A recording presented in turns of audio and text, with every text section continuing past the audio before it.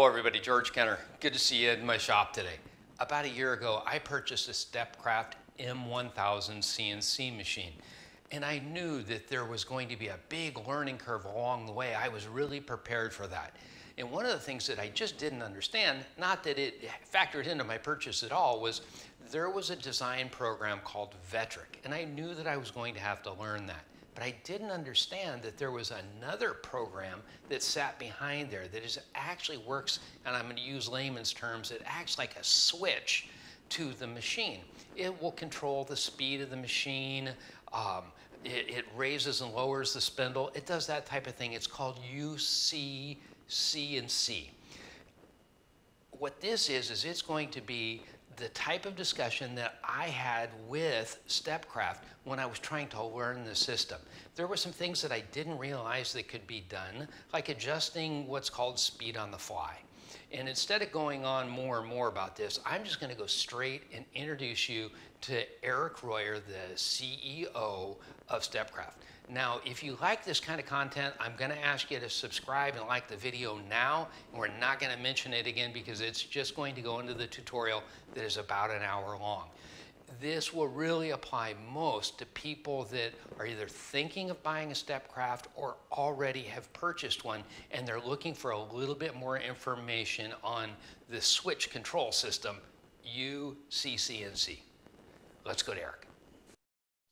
Okay, everybody, this is the second introduction. You're looking now at Erick Royer, the CEO of Stepcraft. He's agreed, as I've said, to show us UCCNC, the controller module for the um, M series that I purchased. And I think it controls all of the systems. Is that correct, Erick? Yeah, that's absolutely correct. Every uh, every machine that, that we sell uses the same software, and all of the features and functions we offer uh, will work with this software. Okay, so I think really the best thing to do is probably throw our faces off to the side and open up UC, UCCNC and C and kind of go over the basics. Um, as I've told everybody already, it's really one of the reasons that I see this to be so valuable is that although we went through this when I initially purchased the machine, I didn't have a, a screen or, or, a video um, to go back to and look at. So you've agreed to do this, and I thank you very much for that. I hope it helps all the people that either buy or um, already have a CCNC and need to to brush up the UCCNC system. Okay. Yeah. No, I appreciate the opportunity to do this, and uh, yeah, let's let's do it. Um, you want me to? I'll just kind of go through the basics it's first. Yours. It's yours. I, if I have any, if I have any questions, I'm going to jump in there and ask. Now, understanding you've been using your machine for a little while, ask me questions as if you're a rank beginner too. Feel free to do that. Perfect. Um, it won't it won't discredit your knowledge that you've gained over the years. But for somebody who's brand new, I think the question I, I tend to look over that stuff sometimes because I do this every day. So that'll be helpful.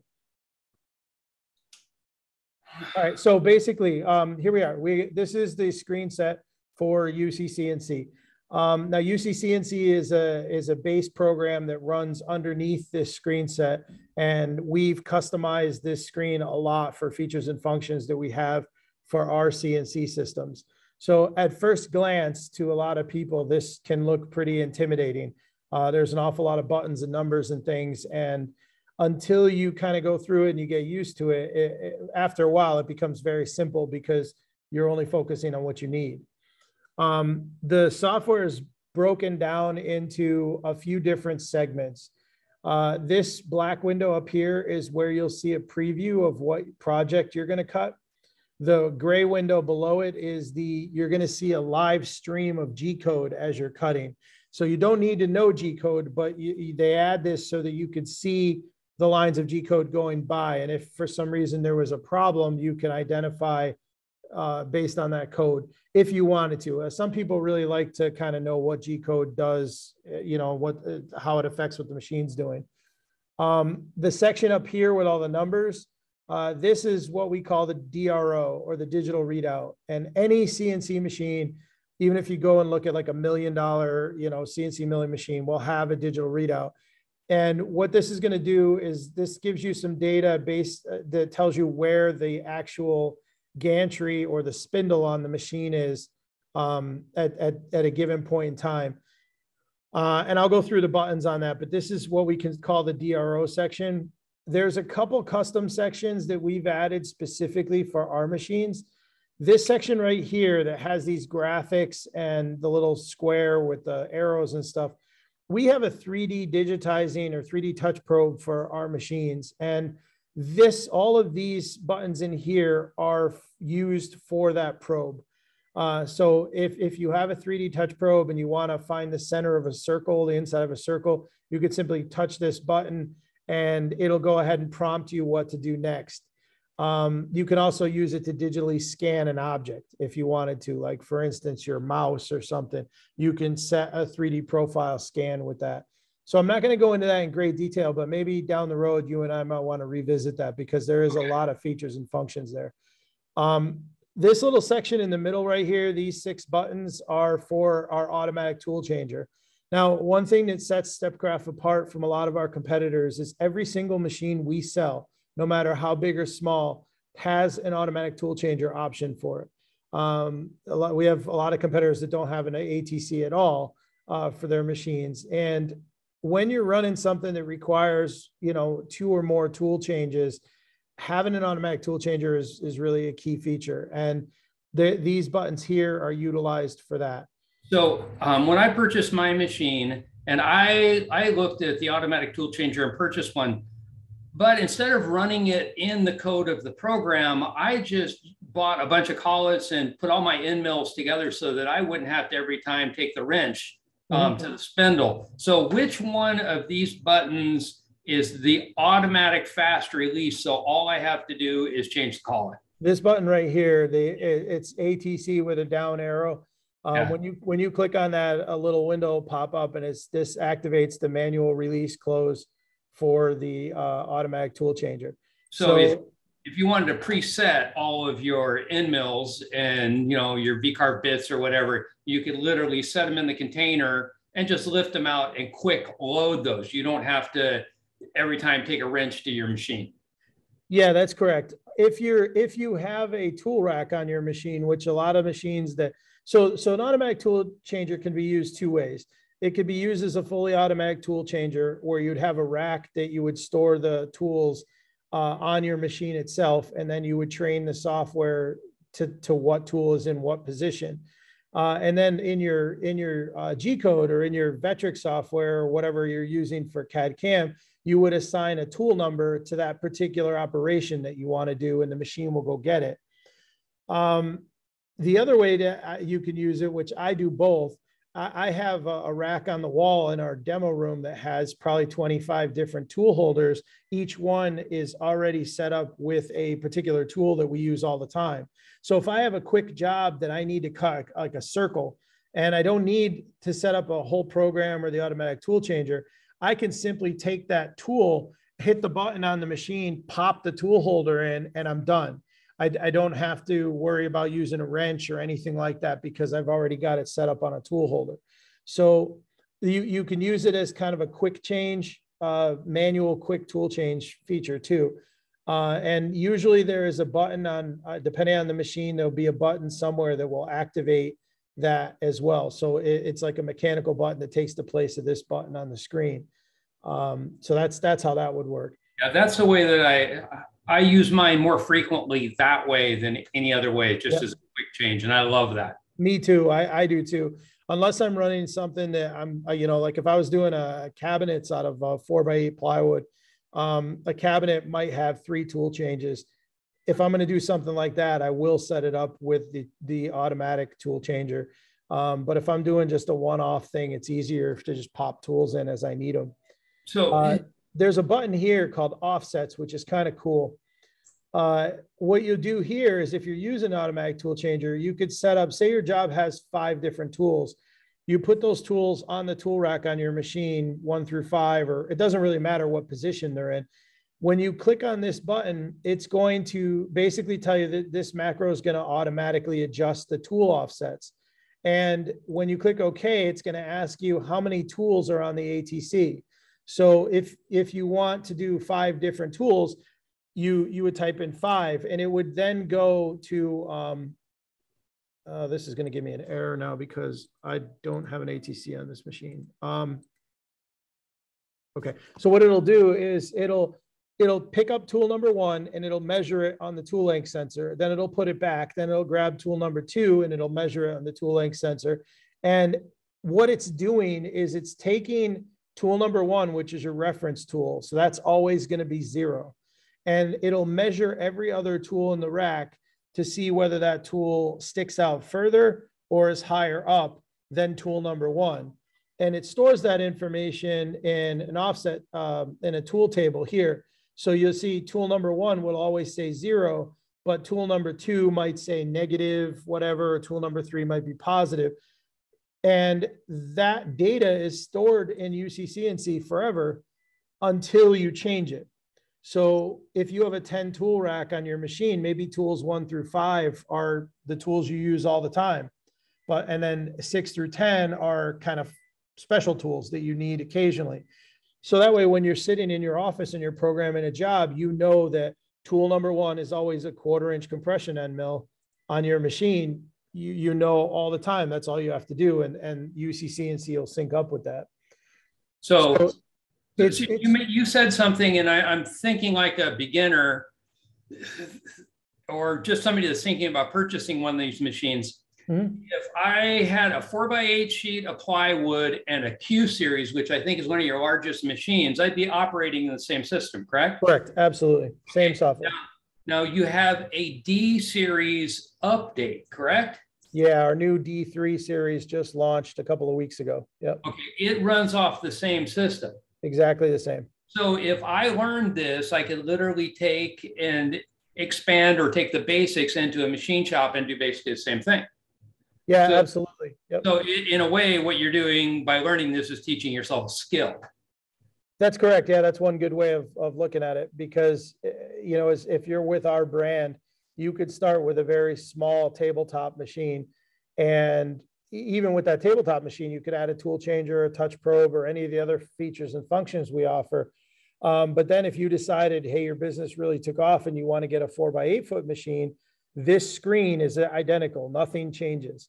Um, the only thing that changes is if you see on the screen right here, it says profile. This is a Stepcraft D300 that I have this connected to right now.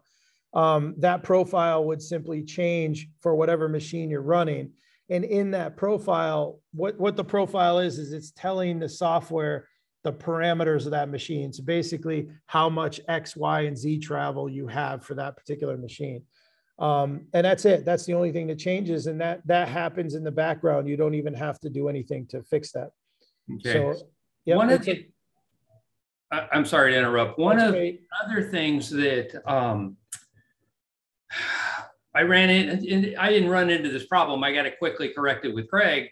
Was I had heard uh, another big guy in CNC that teaches Vectric, and he says the thing that he loved about his machine as though it was unique was that he could adjust the speed on the fly. So he's mm-hmm. cutting a material and he decides that he's just not cutting at the right speed, either too fast or too slow, and he wants to adjust it. Can I do that on this machine? Yeah, absolutely. Yep. You can adjust two things on here. So this orange bar, this top orange bar, it says F-set. F-set is your feed rate. So that's how fast your end mill is moving through your material. And if if there was a job in here right now, this that would you would you would be running that job at 600 millimeters a minute. And that's that's basically what that that feed rate is talking about. F active is how fast it's actually running. So if you think of it this way, this is your cruise control. You've set it that this is the maximum speed you want to cut for that job. But when you go through a corner or you have to change directions, your speed's going to slow down and then and then increase again. And this one here is your speedometer. So this is telling you how, how actually how fast the machine is going. And normally we set jobs up to always run at 100%.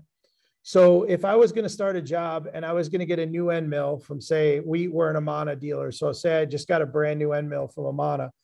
I may not know what the feeds and speeds for that end mill should be. So I'll look at their their their web page and they're going to tell me how fast, how many RPMs, how, how what the feed rate should be for that end mill. And I'm going to program my job with that as a starting point.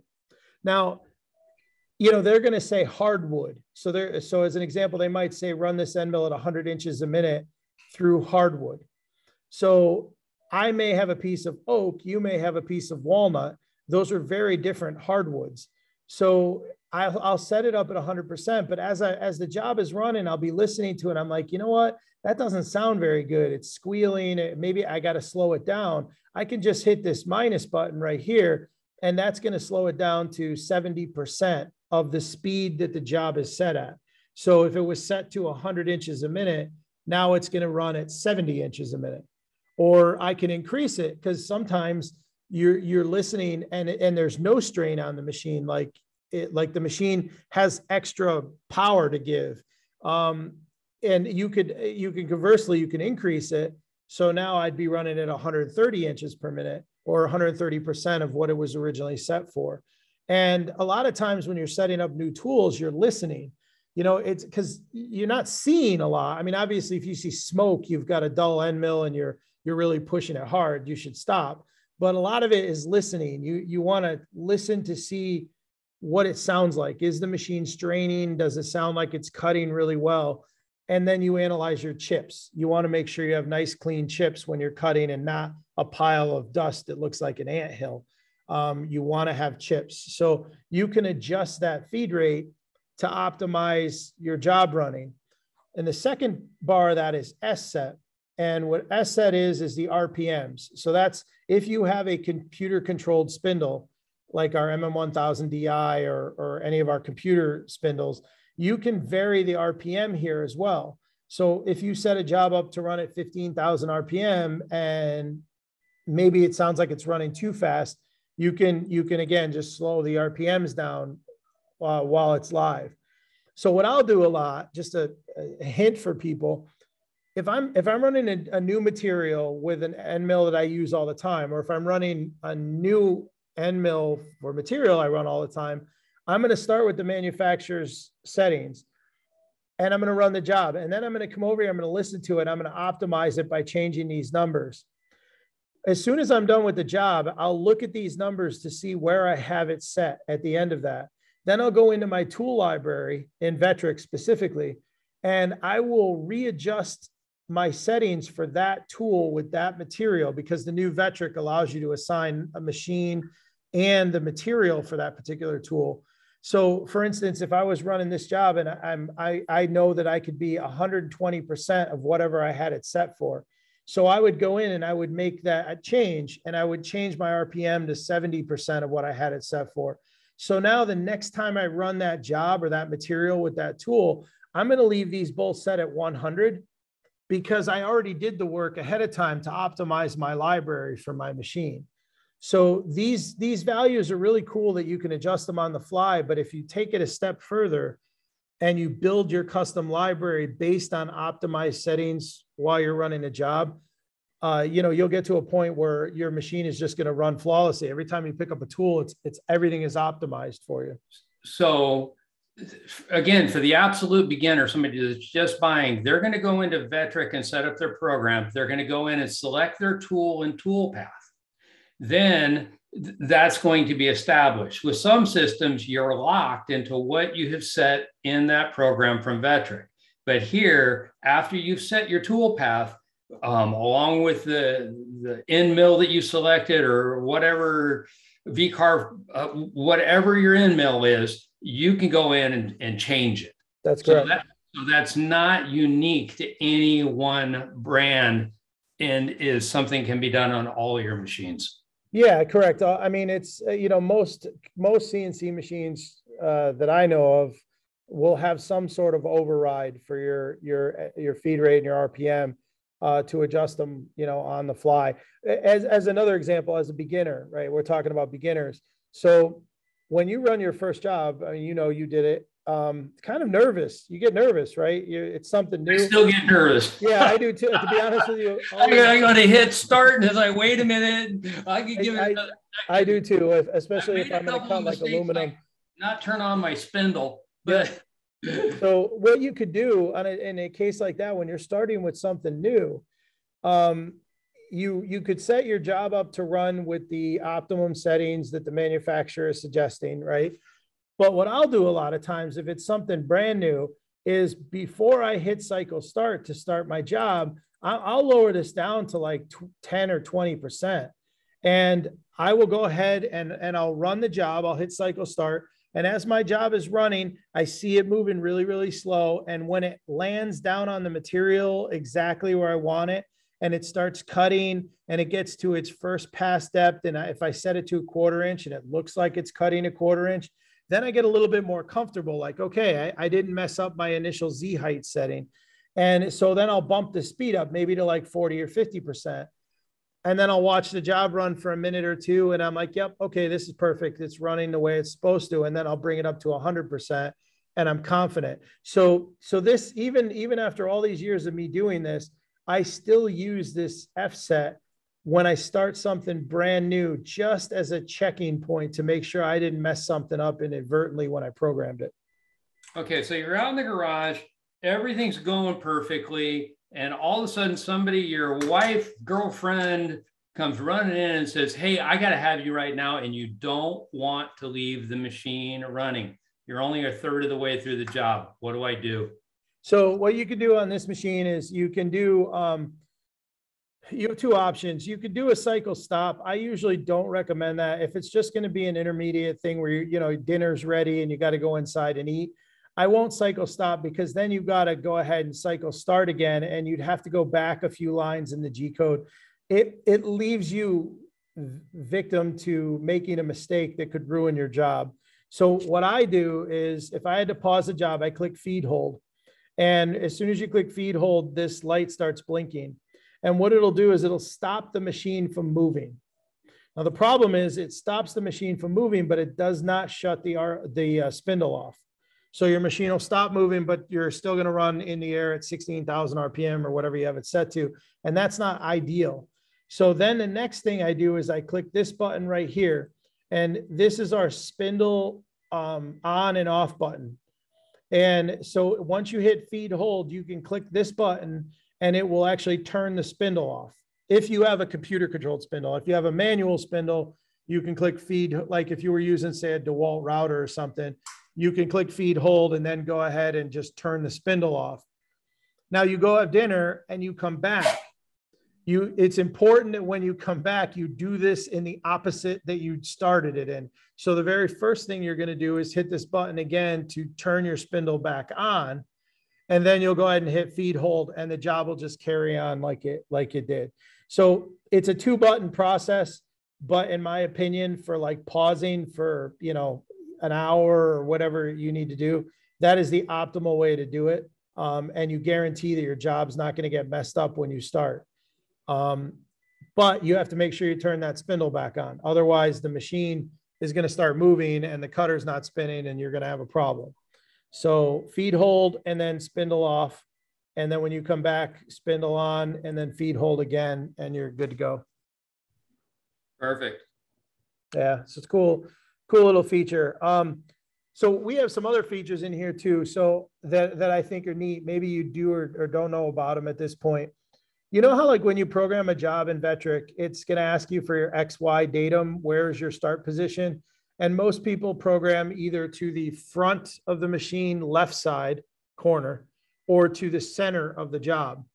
So what we did here was we we have two buttons here that do just that. So if you are running a job that you program to start in the lower left or front left corner, you can click on this M0 button. And what it does is it'll automatically um, move the um, gantry to the front left corner of the machine.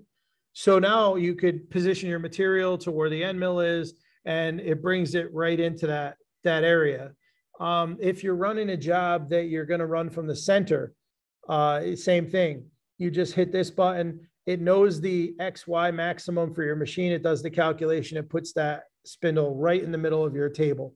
So now you could take your piece of material, you could put it right under the end mill, line it up exactly where you want, and then fasten it down. Uh, so these two buttons are very, very handy for um, for or for things like that. Another example that I use these for is if you're doing, and this is more a little more advanced, But if you're doing a job that's repetitive, like say you're making signs uh, for Etsy sales or something, and at once a week you get 10 signs, you, you know, you batch them out and you, you do all your orders on one day. If you set up a fixture or a stop on your machine, you can do that based on the position that the machine lands in when you hit either one of these buttons. So it's repeatable. So for instance, if I hit this M0 top one, it moves me to the front left corner of the machine. If I wanted to go ahead and then screw down a fixture that gave me a left edge and maybe a bottom edge, so I could take my, my sign blanks and put them in the machine and they're in the exact same spot every time. I can set up my zero position for that fixture based on pressing this button because it's a known value on the machine. And you could do the same thing with the center. So these, these have, as you progress and as you, you start to get involved in different things, it becomes really handy to have something that automatically puts you in a very specific known location on the machine so that you can, you know, further uh, program your job or run your job from there. Um, so that's these two buttons. This this bottom button is for me. It's it's one I use probably the most. Um, I use it on our four our 408 machine, our big machine, a lot. And all this does is pick up the spindle, moves the gantry to the absolute back of the machine in the center. So if I had a, a piece of three quarter inch plywood that I just got through cutting a bunch of parts for a cabinet, and the job is finished, now I've got to take all those parts off the machine. But if the gantry stopped in the middle or if it stopped in the front, it's in my way. So all I have to do is hit this button and it moves everything to the back of the machine. Now I have the entire table free for me to unload my parts and clean it up and get ready to run another sheet. So for the for the new person, when you set your home, and let's say you did it on the center of the piece, Mhm. When the job is finished, it goes back to the home position.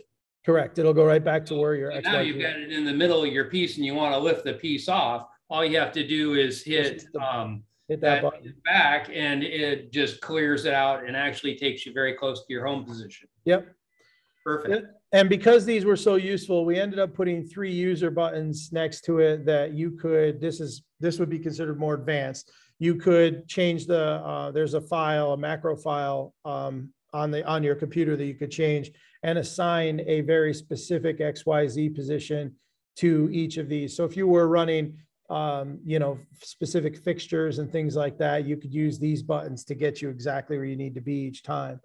Um, so that's that's something unique that we put on, and these are not features you'll find on other machines. These are ones that are pretty specific to what we're doing because um, because we wanted them, we needed them. Uh, the other thing we can do on our DRO over here, you've got the DRO is split into two sections. So you have your zeroing buttons over here, and then you have your homing buttons. So anybody that has a machine, I don't care whose machine it is, when you turn it on for the first time in the day, or even if you didn't power it off last night or whatever, the first thing I do is click home all before I start running anything. I want to make sure that my machine goes to its its limits and homes off against a limit switch, a mechanical switch, so that my machine knows exactly where it is before I start using it. And there's a button here called machine. And when you click it, it turns red and these numbers over here will change. What that's for is when it turns red, these numbers represent the actual machine coordinates of where the gantry is in reference to uh, homing. So if you home your machine, um, these numbers are either going to be positive or negative, but it'll they'll probably read zero, zero, and then maybe the Z is uh, 30 millimeters or something like that. That is your that every time you hit home all, you're going to go to a limit switch, and then these figures, as long as this button is red, are going to be what the actual machine limit switches locations are. Um, you don't normally keep this button on, but again, if um, you needed to bring the machine to a very specific location, you you can do it based on um, looking at this uh, this button right here and moving the machine accordingly. Once you home your machine, you turn this button off. Now the numbers are called user numbers. Now, now at this point, as you move your machine, like I'm moving this one now, those numbers are all going to change. So when I bring my job to my uh, a specific location, like for instance, if I on this particular one, I'm in the middle of the machine right now, and if I want to zero my job right here, all I have to do at this point is just click zero all. And even though my machine coordinates, these represent where the hard numbers are on the machine, this is my user coordinates. So for all intents and purposes, when you start running your job, these are the numbers that your file that you created in Vectric is going to use to run the job. Um, and that so that's that's the the zero all uh, when you're in user coordinates. Now, say I did that like right now, I, I my spindle is actually in the air. But if I wanted to go ahead and I wanted to lower my spindle so that the end mill touches the surface of my material, I can do that by hitting page down and you can see my Z is going to go negative. As soon as I set it up to touch the turf, surface of my material, I don't have to hit zero all again. I can just zero Z by itself. So that's what these buttons are. They represent zeroing each axis individually. And also, And- So that that's that's what those are. And it's and it, it's kind of nice because sometimes I'll give you an example. Let's just say I'm running this job and I zeroed my Z and I didn't calculate something correctly and I hit a clamp and I broke my end mill. Well, I don't want to readjust my XY because my material is already fastened on the machine. So I don't want to ruin that material. So I'm going to take it, I'm going to change my end mill. I'm going to put a new end mill in, but now I didn't put the height of the end mill in the exact position it was previously. So I'm going to have to lower it down and re-zero my Z. So at that point, I can just, you know, raise and lower my, my machine and then just hit the Z zero and continue on with my job. It's, it's nice and simple. Um, because it's very important that when you're running a job, if something were to happen, that you do not um, readjust your X and Y. As soon as you do that, uh, then you've lost your starting position on that material, and essentially that material becomes garbage at that point because there's no way of relining it back up. okay, so um, you had just mentioned I hit page down and that will adjust my Z height, correct? Correct. Yep. Where else on the, where else in the program can I move the gantry? Okay, so on your keyboard, the, the arrow keys, left, right arrow keys are gonna move X, uh, left and right. Up and down arrow keys are gonna move Y front to back. And page up, page down is your Z axis. Now, if you, if you're using a touch screen or for some reason, I don't know, maybe your keyboard's not close to you and you have a mouse, you can come over here and you can do the same thing. These three arrows, as soon as you move your mouse over here, uh, you can go in and, and I, I can move my Z or my Y just by hitting this button here. Um, I don't use these buttons a lot. I find it easier to use the keyboard, uh, to be honest with you. Um, but what I do come over to this panel from time to time in is to change the jog speed. So right now, when I press the arrow key, I'm moving at 10% of that machine's maximum speed. Uh, I, if I want to move it faster, I can certainly do that. And now my machine's going to move a lot quicker and you could see the number, you know, the numbers change a lot faster. Um, however, if I'm working on something that's more precise and I want to be super careful when I'm moving my arrow keys that I'm not moving too fast, I mean, I can lower the jog speed down a lot. And now I'm moving, you know, millimeters every couple seconds, you know. So 10% is usually where we keep it as a default, but you have the ability to change the jog speed that whether you're using these buttons or the keyboard uh, using this here. So what I've used this for, especially when point down the jog speed, is when I'm setting my Z. Sometimes if I'm using a piece of paper instead of uh, one of the touch off devices. Yep. Yeah, So- then you can slow it Hold down. to little as one and just make sure that I've got it is, is accurately set as I possibly can.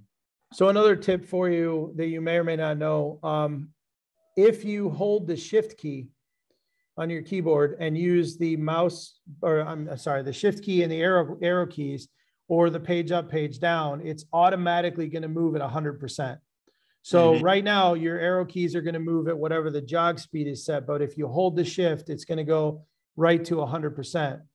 Also, if you hold the control key it's now moving step by step. So if I hold the control key, if you look at the x-axis number up in the DRO here right now, I'm holding the control key. You see how small of an increment I'm moving? I'm, I'm moving in hundredths of a millimeter. Mhm. Um, this allows me to really make precise adjustments uh, on my machine. Uh, and there are times where that does come in handy. So, you know, shift lets you move nice and fast, and then control moves step by step. So you've got 300 steps per rotation. Each time you push that, it's one step. So I uh, theoretically, I put my Z axis down too fast, too hard, and my reset came on. Okay. Okay. So, and I can't really figure out what's wrong. Where do I go? Like to the diagnostics panel to the top to see which one of my things is. Yeah, you could do that. You could, if you go into diagnostics, you'll see right here, you've got your limit switches uh, for X, uh, X, Y, Z. Um, if you, if you hit a limit, and I can't really simulate that here, one of these lights will come on. So it'll tell you that you've got a, a limit uh, problem. Your, your X-axis limit switch is stuck, for instance. Um, if you're, if you look at your machine and your gantry is in the middle and you've got an X-axis limit switch on or your Y-axis limit switch on, chances are you have something stuck in the switch itself. Maybe some junk got in there or whatever. If you look and your gantry is all the way to the left or your Y is all the way to the back and your limit switch is on, chances are you lost steps somewhere and the machine kind of lost its ability to count where it is. Um, you know, the, most of these machines are not servo driven, so there is no direct feedback loop to tell the machine where it is or to do like a, a good double check. So if your software is telling your machine to move 10 inches and it moves five inches and then hits a clamp, it's going to stall. But the machine, the software still thinks it went 10 inches, even though it only went five. So when you go to run your machine to the back now, you're you physically run out of space, but the software is like, what's going on? I still have five more inches to go. And that's when you'll catch a limit switch. That's the point of those limit switches. It's so that you don't break your machine. Um, when when that limit switch is tripped, it's a hard stop. And if you don't know which one it is, you could just go into diagnostics and you can see. Um, conversely, you can also see the e-stop. So uh, you'll you'll know that if if you were in e-stop mode, like right now, if I e-stop my machine, the reset button goes on, and all of a sudden a green light appears. If I take the e- e-stop off, that light turns off, and then I can hit reset and continue on. And for absolute beginners, the e-stop is the red panic button that you hit on the Yeah, something's going wrong. it's the uh-oh button. Yeah. Yeah, when, Um, I, when I edit this, I'm going to put a picture of the e-stop on. Okay. Um, yeah, that, that'd be good. I, I'd appreciate that. Um, let's see what else. We talked about the zeroing. Now this side is homing. So I told you every time you use the machine, you should home all, uh, no matter what. Um, sometimes it's only necessary to home one axis. Like for instance, if you were moving your gantry and, uh, from left to right and you hit an obstruction and it stalled your, uh, your gantry from moving in the X direction, you could clear the obstruction and then simply just home that particular axis. And it's just going to move over until it hits the limit switch and then it's going to zero itself out. So that now it knows like minus 103.5 on this machine, that is where the limit switch is um, on, on, or on this particular job. So you, you know, you have the ability to home everything, which, you know, on a small machine is not a big deal. But if you're working on a four by eight foot machine and you hit home all and that gantry is in the front right corner, it has to move to the back left corner and it does it really slowly. So it wastes time. Um, you could you could simply just rehome that particular axis. So that's what these buttons are for. Um, and then I think offline you'd ask me about the double home all Mhm. um, and what is that for? What we do on double home all is we will do a home all and the machine moves at 10% to the limit switch and then it records its position. That's its hard, fast home. When you do double home all, it, it moves at 10% to the limit switch, then it moves away from the switch slightly and goes at 1% speed until it hits the limit switch again. So think of it like a double check. Now it's taking the reading from the first time it hit the limit switch and it recorded where in, in machine mode where it was at. And then it hits the limit switch again very, very slowly. And it double checks to make sure that both of those numbers are the same. So it, it's it's a way for you to guarantee that you have a perfectly accurate homing position on your machine. Um, it's not something I use on a regular basis, but if I was doing uh, like an aluminum part or something that was very very precise, and I had to reset the job up or something, I might want to use a double home all to ensure that my location is, you know, on aluminum. You know, if you're off uh, ten thousandths, you're going to see it. So, but on wood, you may never see 10,000. So it just, it just depends, but that's, that's what that button does. It just gives you a super accurate homing location. Okay, I can't really think of much more to ask right now. It's my understanding that you're working on a tutorial series for this. Yeah, so I am, I've started, um, we're about a third, third of the way through. Um, taking everything kind of like I just told you in this video, um, but doing a very structured online course. So there will be probably 40 videos, but the videos will be short. So for instance, the video on how to use Home All. I mean, how much time can I really talk about Home All? Um, but then there will be a video that talks about how to use the offsets for the automatic tool changer. That one might be a little longer. So then you can pick and choose which videos you want to watch based on what you're trying to do. Perfect. Um, it's something we we we've talked about doing for a long time. We've been making a lot of modifications to this screen set over the last six months, and we really wanted to make sure everything was dialed in and all of our programming and the graphics were right because it's a real pain to have to redo a course when you add a new button or you change a color or something like that. So now we're in a good place to do that. Um, Hey, real quick, uh, just a side thing. Do you know what the, have you used the G fifty-four through fifty-nine buttons yet? I have not. Okay. Do you know what they do? No. Cool. So this is a, here's a good like beginner to intermediate. The G buttons are what's called a work coordinate system. Okay. And what's neat about that is let's just say on my machine, I'm going to move it to the center and I'm going to set up a job there in the center. So I'm going to zero all and that's going to be my center location, right? And I have that on G54, and uh, right now I'm zeroed to the center of the machine. Now I finished that job, but I know I've got to run more. Like I, I've got six signs. I'm waiting for a customer to give me an okay on two more, but I don't, while I'm waiting for them, I could be running something else somewhere else on the machine. So what you could do is you could then turn around and go to G55 and you could say, okay, now I want to move my new start position is going to be to the front left corner of the machine. So your machine is going there. Now I'm going to home, uh, I'm sorry, I'm going to zero that. So G55 right now is zeroed at the front left of my machine. G54 is zeroed on the center of my machine. So I finish my job on the front left, and then my customer calls and says, Hey, I'm ready to place an order for that sign. Right. You're like, Oh, okay, cool. So you finish that job, you go back over to G54 and then just go to um, go to zero. And um, yeah, forget that. So now what is going to happen is it's going to move to the center of the machine again or wherever your G54 location is. You could think of it like having six different machines, essentially, if you wanted to.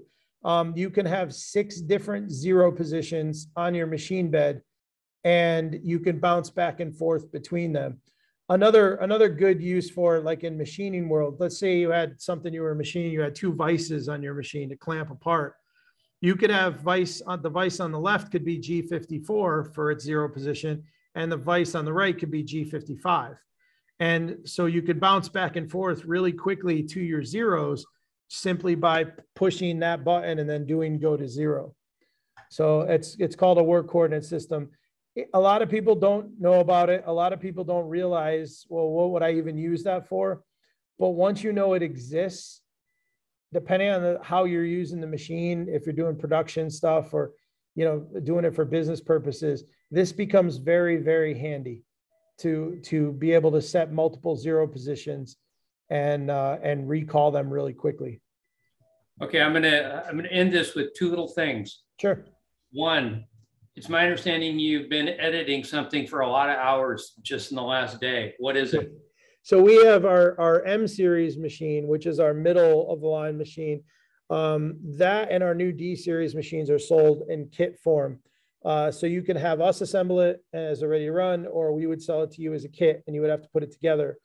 Our manuals are very, in my opinion, I, I'm biased, but uh, they're very, very well done. They're, they're, um, they're, the illustrations are good. They're easy to follow, but there are some people that learn better um, by watching somebody do it.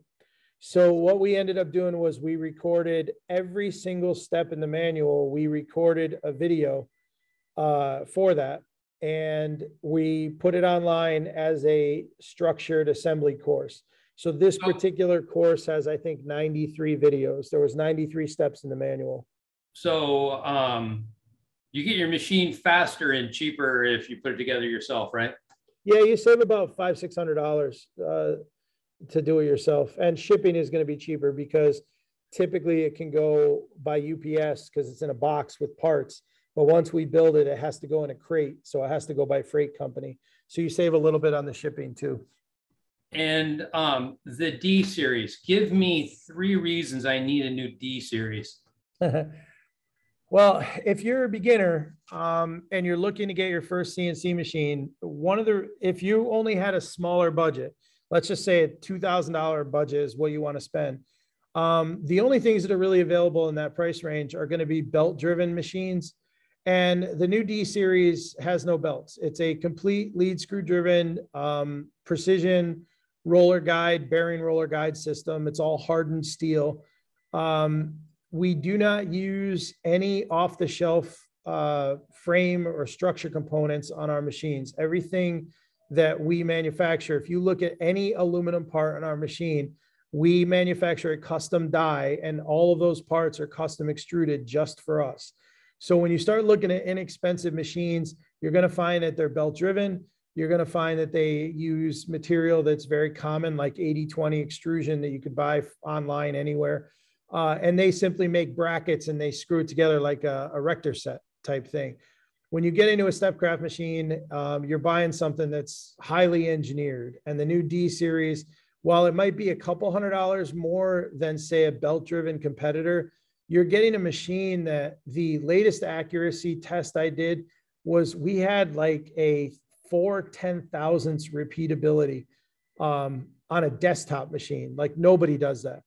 Uh, so it was it, it is an extremely rigid machine for a uh, I, I want to call it an entry level. I hate using that term, but that's like our beginner or price wise, our beginner level from a price standpoint.